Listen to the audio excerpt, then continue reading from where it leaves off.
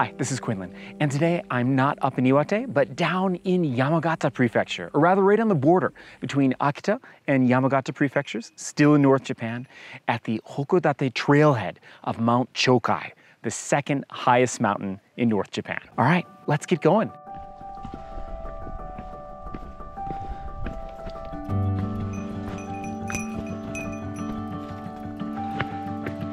Compared to other mountains, like Mount Iwate, forgive me for comparing everything to Mount Iwate, it's uh, rather gentle in the incline. And there's, so far at least, no gravel, not really any mud. It's all this nice stony path. There are all these mysterious lines carved into the rocks here. I haven't found someone who knows what they are yet. Maybe I'll find the answer by the end of this hike. We'll see.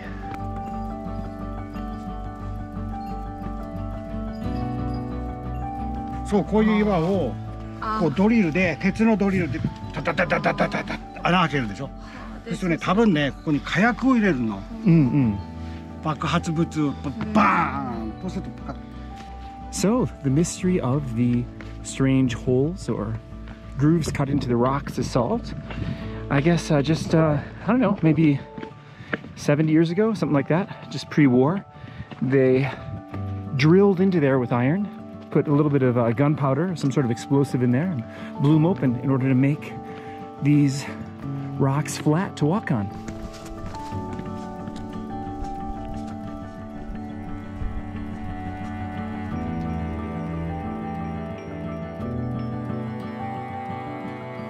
It's my second time visiting here. The first time was a couple of years ago. And it's a good three and a half hour drive from Morioka, where I live. So I can't uh, just make a quick day trip here. I've got to usually spend a night before or afterwards. Mount Chokai has erupted twice in the last hundred years. The last eruption was just a steam eruption and uh, not a big deal. It's uh, not exactly steaming, though it is technically still an active volcano. And I'm here right now, a little over an hour into the hike, in front of Lake Chokai, which is a little pond in a caldera in this really beautiful, glorious sort of volcanic landscape that we find ourselves in here. You can see Gassan hanging in the distance there, one of the three sacred mountains of the Dewa Sanzan. Gassan represents the past and death.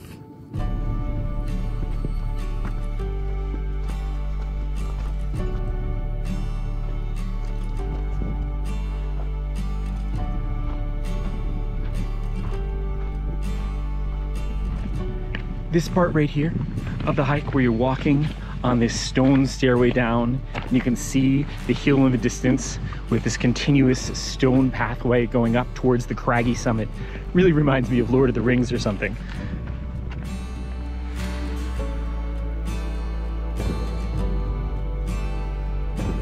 It's only my second time coming here and I'm taking the exact same trail that I took the first time even though there's lots of trails.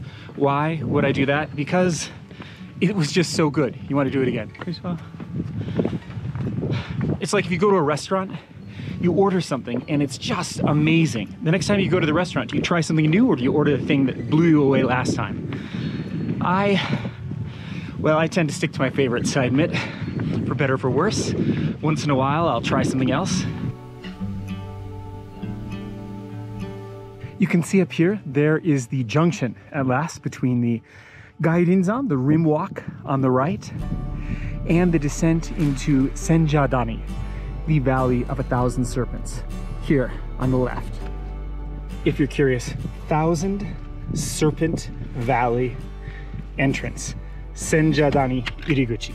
But instead, I'm gonna turn right and first go into the outer rim, or the outer ring, Gairinzan. This is kind of a scramble up to the top of this.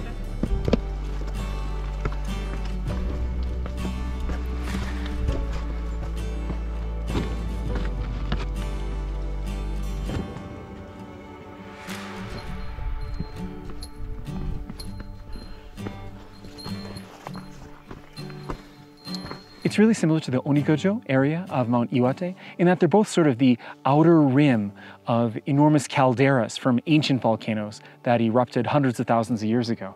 And so in both cases, you've got this gorgeous ridge walk with cliffs on one side and a more gradual slope on the other. I really love them. They just feel like a magical landscape. It's unlike anything that I get to experience back in the Midwest of the United States, in Wisconsin. So this mountain was sacred to the Yamabushi in ancient times, and not only the Yamabushi themselves, but other people who followed the same faith, which was a lot of local people would come up here to purify their luck and to maybe have an encounter with the sacred. People would dress in all white and hike up here hundreds of years ago up to the summit and pray to the gods that resided here.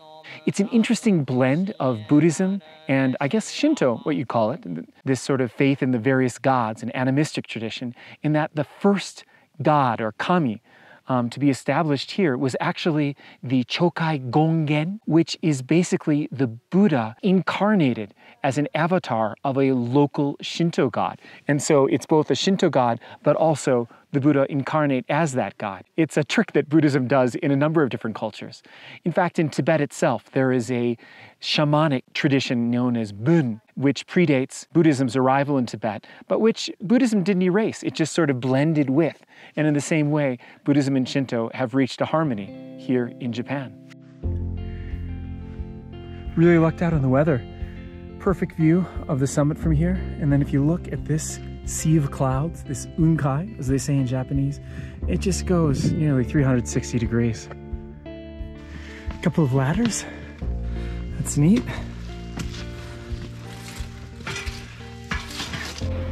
Would be easier to do this if I wasn't holding a camera or two. Huh.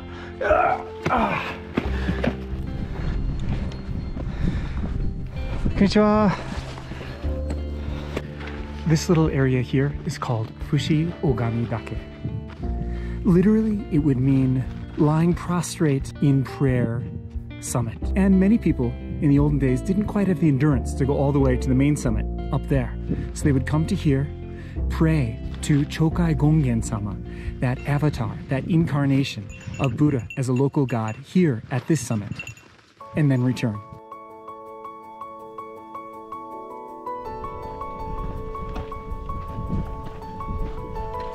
Ja.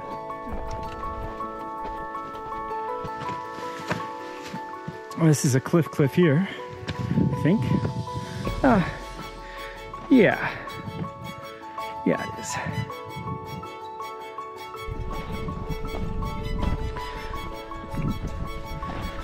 Konnichiwa.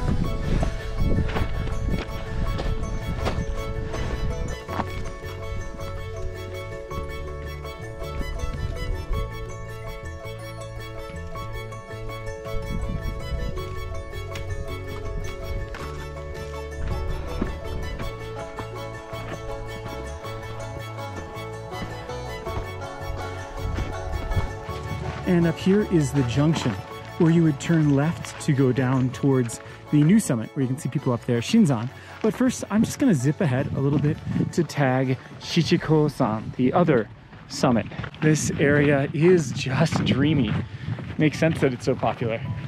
Love, love, love, love, love it. And up there you can see the second highest of the summits here. So this right here is Shichiko-san-cho. This is the second highest summit here at uh, Chokai-san. And it's just this little spot right here. So this is the highest one. Ooh, on the other side of this cliff, you can see right here. It's hard to believe that in just a couple weeks, tourism is going to get back to normal. After what feels like nearly three years of closed borders, we're finally going to see the gates open again and everybody coming in again. If you do have a chance to come to Japan now in the next coming months or year or two, and you want to do some hiking up here in Japan, I think you should. I think it's a great idea to come and hike in Japan. Of course, you could go hiking in any country. What's so special about Japan? Why here? Well, that's true. That's a fair argument. But at the same time, what I think is really nice about hiking in Japan is that everything is so compact. You've got so many different landscapes in a really small area. And so within an hour or two uh, by car, you could have like an enormous volcano like this that you could hike. You could go to the coast and hike a coastal trail. You can see whether it's alpine wetlands or active volcanoes or places that used to be sulfur mines with like gases spewing out or any number of things all on the same day. And in some cases, you can see like flowers blooming, the cherry blossoms, then you go up high and there's still snow. And so I think, yeah, what makes Japan special, maybe not unique, but at least quite special, is how many things you can see in such a short time on the same day in the same area. If you do go hiking and uh, you're not sure about how to get out there in terms of getting to the trailhead, renting a car, it seems like a headache, hire a guide. I do a lot of guiding work. There's a lot of mountain guides, and you'll probably get a better experience with a guide, anyways, as they can explain and tell you stories about the history of the mountain, the plant life, the cultural and religious history here, all sorts of things like that, and you may get more out of it. Plus, it's just fun. but okay, I'm gonna eat a little bit of lunch and then try and head over there to the main summit, the Shinzan, the new summit. Now it's time to go down and then back up to the summit helpful chain for the descent. Of course, my hands are full with cameras. This is interesting. The last time I came to this area, there was a huge shelf of snow. Well, that shelf of snow extended, I should say, and covered this entire area. I remember being very unclear about where the trail was last time. But now there's just so many people you can kind of tell.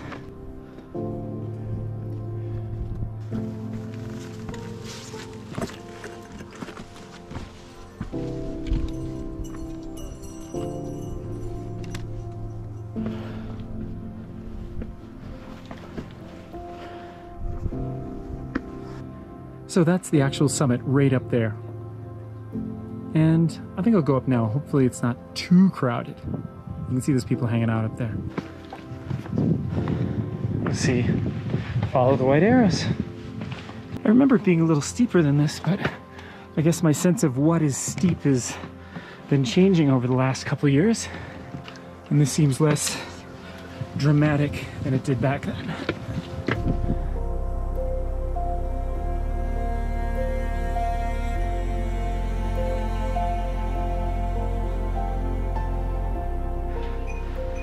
There's all these places that are rather adventurous near the summit of Mount Chokai. Here's another sort of, not a tunnel, but a crevice of rocks that you're going, climbing up or down through. It's pretty damn cool. Konnichiwa. Konnichiwa. いいですね、ここ。最高ですよ。最高ですね。最高です。Yeah. I'm doing this without any hands, but it'd be easier if you had your hands free and could scramble. Down here is a complex of buildings. There's a lodge you can stay in, a shrine, and I don't know, a bunch of stuff lying around. I guess those are water tanks. I'm always a little bit hesitant to leave the summit area because it's just so gorgeous, but it's getting later and I still got to drive like three and a half hours home. So I'm going to start heading back towards the trailhead, I guess. But at least it's a different route for part of the way.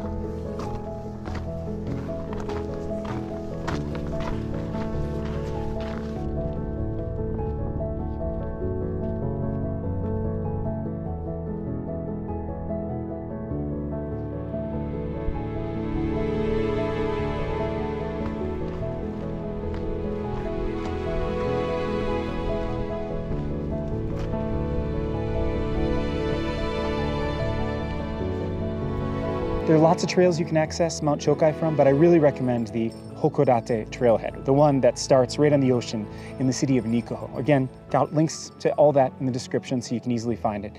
But that is, I think, the most stunningly beautiful one. It starts out in the open, there's not a forest that you have to go through first, and you've got just glorious views of the summit through the whole ascent and this magnificent stone pathway. And if you go earlier in the year, say June or July, there's just tons of snow left come to Mount Chokai and then come up to Iwate and experience some of the great mountains up there.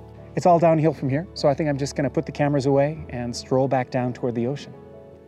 Thank you so much for watching, and I'll see you on the trails.